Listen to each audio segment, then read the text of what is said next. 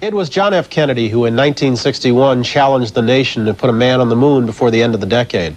And it was July 20th, 1969, that the incredible goal of landing on the lunar surface was finally realized. Sequence start. Six, five, four, three, two, one, zero. All engine running. Liftoff. We have a July 16, 1969, 9:32 a.m. Apollo 11 thundered from the pad at the Kennedy Space Center. The mission went without a hitch, and four days later, the lunar module known as Eagle separated from the command module and initiated a powered descent to the moon. With almost a billion people watching around the world, Neil Armstrong stepped to the surface. Okay, engine stop. Houston, uh, Tranquility Base here. The Eagle has landed. Rocket. That's one small step for man. One giant leap for mankind. Yes, indeed. They've got the flag up now, and you can see the stars and stripes on the lunar surface. up now, and you can see the stars and stripes on the lunar surface. Beautiful, just beautiful. From the Air and Space Museum in Washington, D.C., our pleasure to welcome the crew of Apollo 11, Neil Armstrong, Buzz Aldrin, Mike Collins. Gentlemen, good morning all. Good morning, Brian. In, in 20 years, have you grown kind of weary of being asked about this? What's, what's the story? Oh, I, uh, I don't think so. I, we really, uh, really enjoy remembering those very special days, and actually, not too many days uh, come up when, when we get the chance to reflect on it. Neil, you are, are today, by all accounts, a very private man who kind of shuns publicity. Is, is that a result of the glare of your achievement? No, I, it's, uh, I don't really shun publicity, I, but uh, I'm not naturally attracted to it, so uh, I uh, probably uh, don't volunteer for as many, many jobs as some of the others. Buzz Aldrin, Mike Collins, does it, does it seem like yesterday? Does it seem like 20 years ago? Or does it seem even more distant than that? Well, I've been thinking a good bit about it uh, this last year while I've been writing a book, uh, but uh, it still does seem like a good while back. Uh, I'm the first one that's going to reach uh, 60 in this group, and it's going to happen during 1990. Mike Collins, but for today, how often are you, um, are you reminded of your achievement? Well, if I go out back and look up in the sky and see the moon, I, uh, I, I either I can remember where I was 20 years ago, or I can uh, pretend I've never been there, and it works for me either way. I'm going to assume that it was and continues to be the greatest achievement of each of your lives. And could you could you tell me a little bit if it changed your own self-image, your perception of yourself in any way? Mike?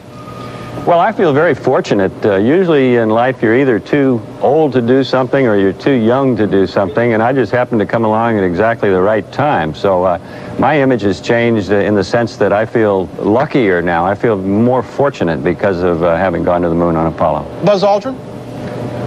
I think going to the moon was one of the most fantastic things that happened in my life. It, it changed my uh, view of other people and other people's view of me, of course, and, uh, and I had a little personal difficulty coping with that, but uh, I'm a much finer man today because of uh, growing as a result of all those experiences. Neil Armstrong, same question.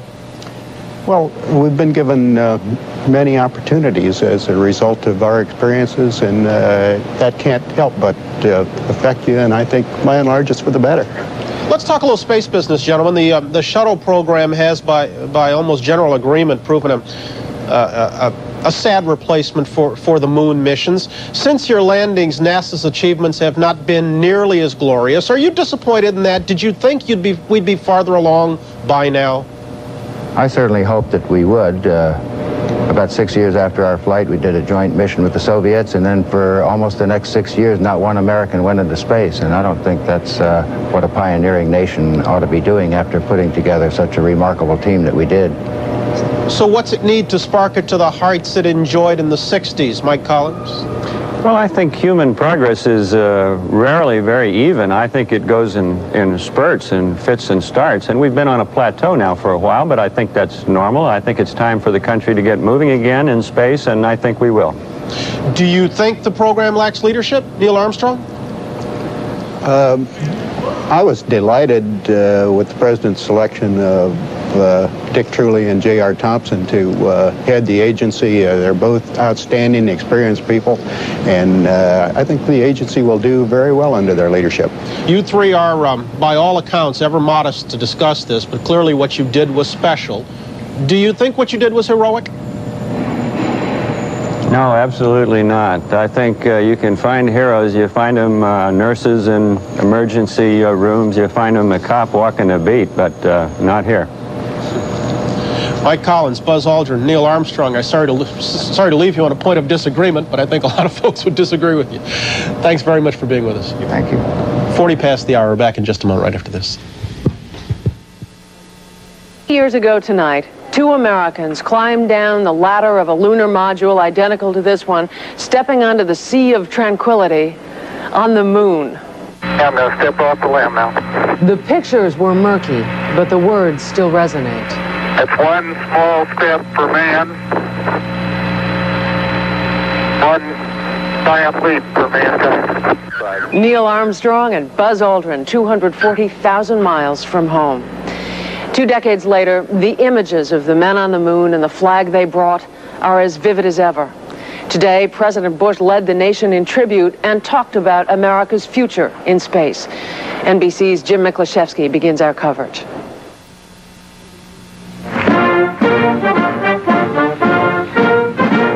With all the fanfare of a moonshot, President Bush launched his vision of the space program. Flanked by the crew of Apollo 11, the president called for a commitment to put man back in space and keep him there. We must commit ourselves anew to a sustained program of manned exploration of the solar system and, yes, the permanent settlement of space.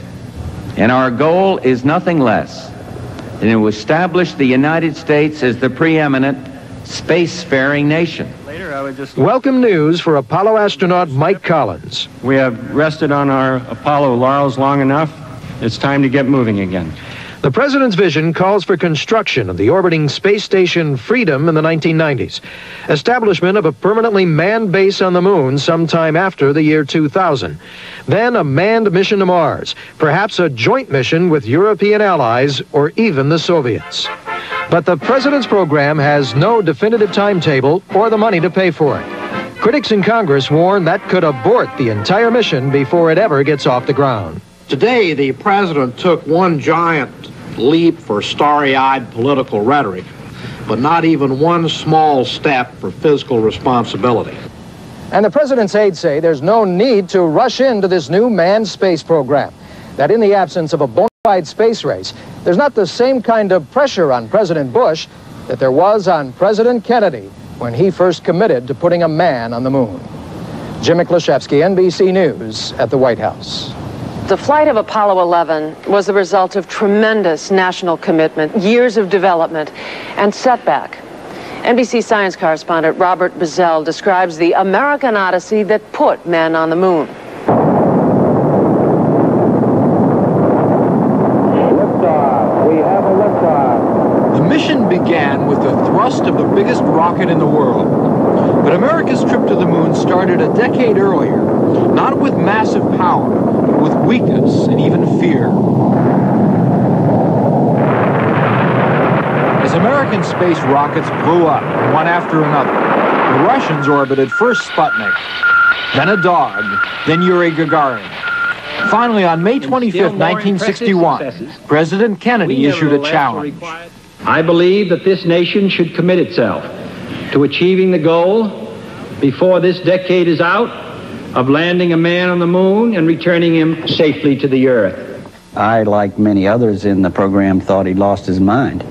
Through all the Apollo uh, missions, Chris Kraft was the director of flight operations.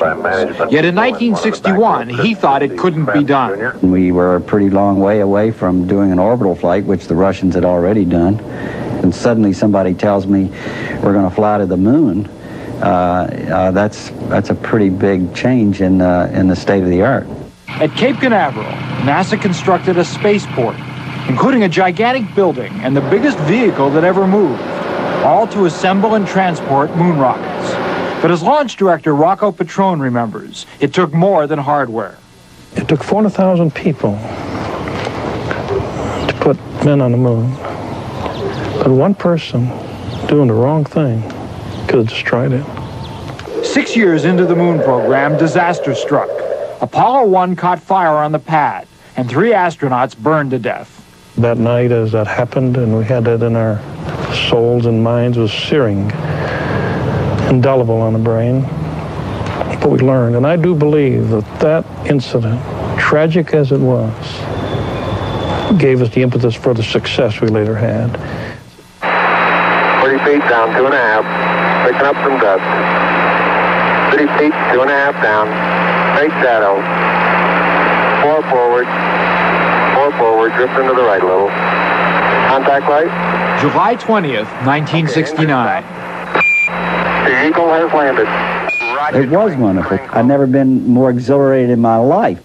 Hey, they've got the flag up now, and you can see the stars and stripes on the lunar system. Beautiful, just beautiful. Five more times in the next two and a half years, Americans landed on the moon. They set up experiments, learned to dance a kind of moon hop, It's really some crater. raced across its surface on moon buggies. Make sharp turn. Then in 1972, Three, two, one. The last two men left the moon. Since then, no human has gone beyond Earth orbit. It's been a good trip. Robert Bazell, NBC News, Houston. In a moment, how the world watched the moon landing 20 years ago today. It has a stark beauty all its own. It's uh, like mu- much of the high desert of uh, the United States. It's uh, different, but it's very pretty out here. What had once seemed insurmountable was surmounted. With American imagination and personal courage, a frontier was crossed. The astronauts had earned their place among the great explorers and adventurers of all time. NBC's George Lewis on how the nation and the world looked on in wonder.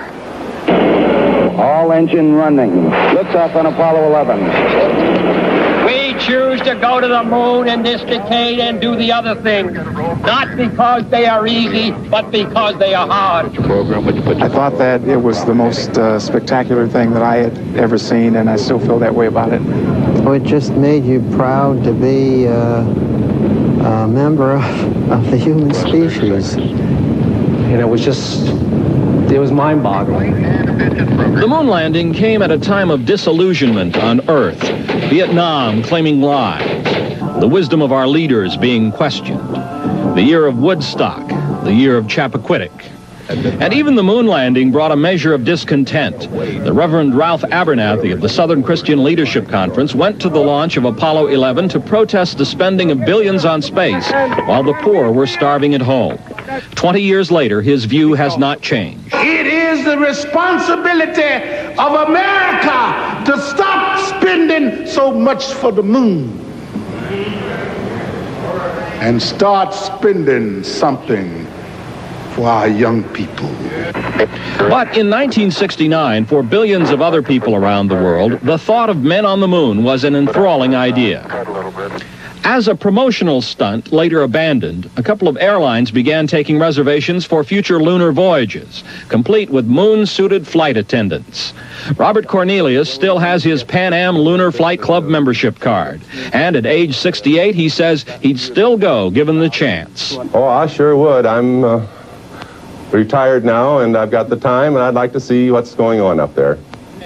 So would a lot of people who peer into the night sky, marveling at the moon and at the fact that men actually stood on it. You can see all the little craters and all the little holes in the moon. I took it in last Saturday. And the American flag. We can all see what we want to in the face of the moon. And because man went there, we now look at ourselves differently. George Lewis, NBC News, Los Angeles.